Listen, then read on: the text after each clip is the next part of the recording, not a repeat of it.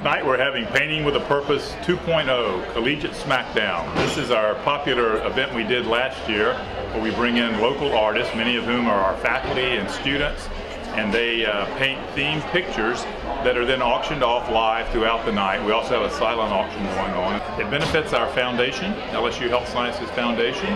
helps us to support our clinical operation here as well as our teaching and research programs.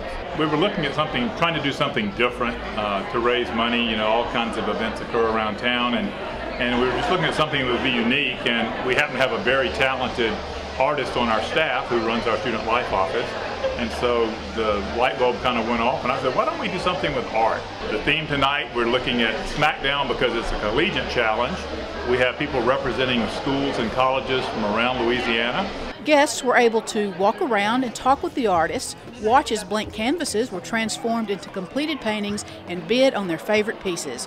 Artists competed for two awards. The People's Choice was chosen by text vote, and the Champion Award went to the artist with the highest bid of the night. And uh, it's going to be a fun night of, of people uh, enjoying a band, good food, and voting on artwork and hopefully buying some.